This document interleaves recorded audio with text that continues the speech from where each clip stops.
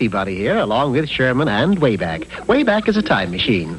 Sherman, a boy. I set the Wayback Machine for July 8th, 1888, just like you told me, Mr. Peabody. Good boy, Sherman. And now, if you'll set the indicator for Richburg, Massachusetts, we'll be off.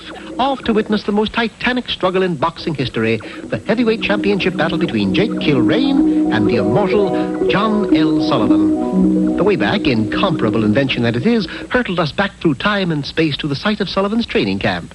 Hello? This is O'Hara, Sullivan's manager. I'd like to bet $5,000 on Jake Kilrain. Well, that's what I said. 5000 on Kilrain. Excuse me, Mr. O'Hara, but are you really going to bet against your own fighter? You're darn right I am. In John L's condition, he couldn't punch a clock. O'Hara led the way to an outdoor ring. There's your John L. Flat on his back, and he's been that way all week. Too much training? No! Too much mustache. That mustache of his is so heavy he can't lift it. Between the three of us, we managed to elevate Sullivan to a standing position. Are you all right, Mr. Sullivan? He can't speak, lad. Too much pressure on the lips. Stand clear for a second. We'll see how he does. John, John, John, my lad, why do you think I give you a razor on your birthday? This is serious, Mr. Peabody. The fight takes place in an hour. What fight? You mean the slaughter? Oh, if only there were something we could do. There is. What? Shave him. O'Hara put in an urgent call for the nearest barber, and ten minutes later. There, uh, how's it that look? Not his hair. The mustache. Cut his mustache. And after another ten minutes. It's of no use, mister. This man's a mustache won't a cut. I'm a roll of five a pair of C's, a four combs, and a half a pair of tweezers. Well, I'd best be calling up Kilrain's manager and telling him the fight's off. Don't do that, Mr. O'Hara. Mr. Peabody will think of something. And of course, I did.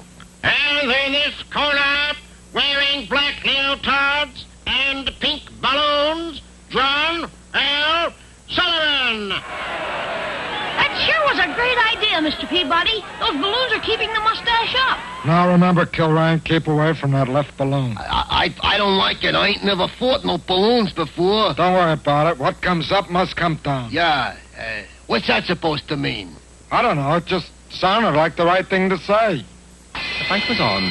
Round one found the two antagonists more or less sizing each other up. Sullivan could hardly raise a hand due to his inactivity of the past week, and thanks to my talents with a brush, Kilrain was confused by three mustachioed opponents.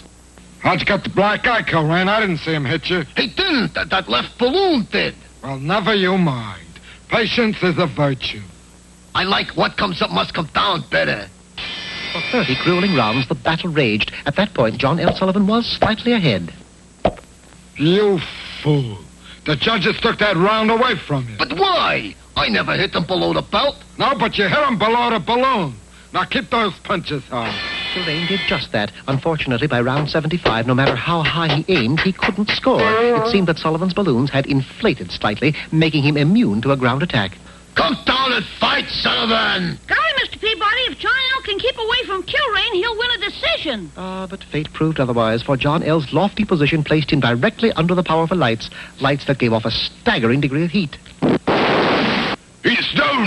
Sullivan's down. Two, three, four, five. Get up, John L. Get up. It's his mustache, Mr. Peabody. He'll never make it. Nothing in this world'll make him rise. It was then I noticed a gentleman in the first row digesting a huge platter of corned beef and cabbage, and if John L. Sullivan were any sort of Irishman, he'd rise for this. Uh, would you mind if I borrowed this for a moment? Thank you. Well, of course, the rest is history. John L. took one slight inhalation of corned beef and cabbage and turned into a raging tiger. Sullivan was the new champion. What a fighter he was, Mr. Peabody. Probably the most famous of all time. True, Sherman, but his manager was equally famous. Mr. O'Hara? Oh, yes, he joined the Marines and became the most talked about celebrity of our time. I never heard of him, Mr. Peabody. Really, Sherman? You never heard of uh, Marine O'Hara? Ha ha.